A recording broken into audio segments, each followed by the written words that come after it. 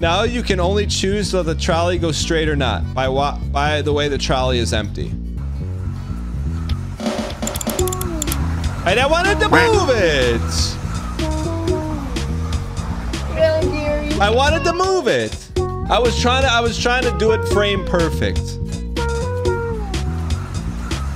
You already got hit once. What's another time?